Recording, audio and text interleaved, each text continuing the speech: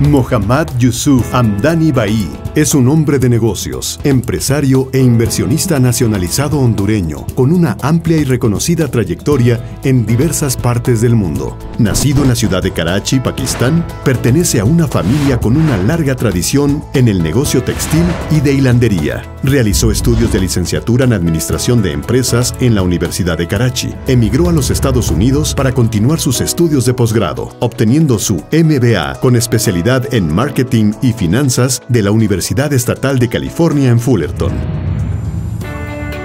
Vida de negocios.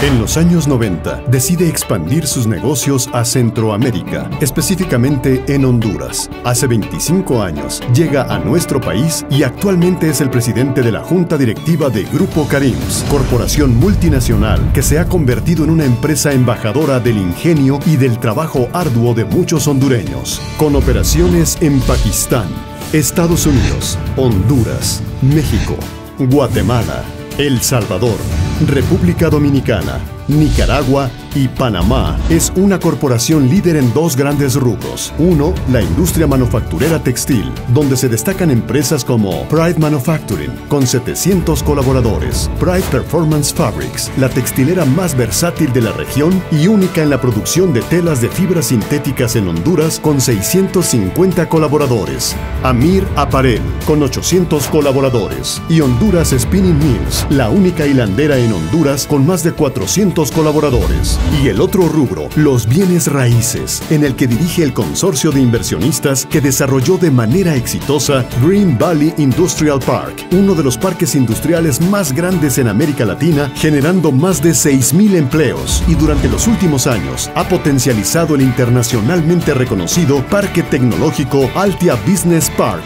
poniendo a nuestro país en el radar de los negocios con este proyecto de clase mundial, abriendo paso a la industria de tecnología de información y servicios que actualmente genera más de 4.000 empleos, lo que le valió para ser recientemente reconocido por Nearshore Americas como una de las 50 personas más influyentes en el sector de tercerización de servicios en América, siendo designado por este importante medio como el padre de la industria de teleservicios en Honduras. También ha desarrollado proyectos como Merendón Hills, Pride Chemicals, Pride Yarn y Pride Takes, entre otros. Es así que con todas sus inversiones, Grupo Carims genera más de 15.000 empleos entre directos e indirectos. Espíritu Solidario.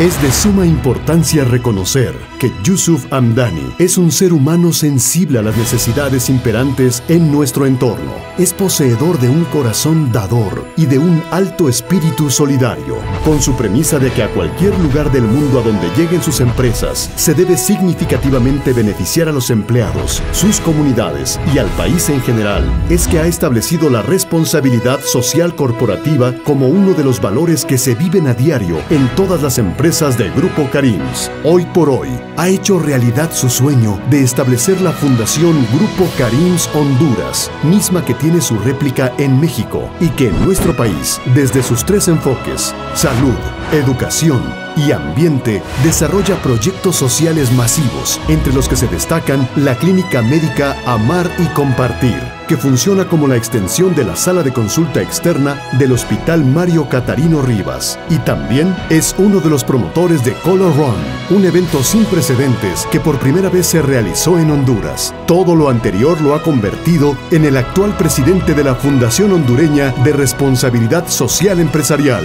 Fundarse. Me siento orgulloso de ser hondureño y vivir en este bello país.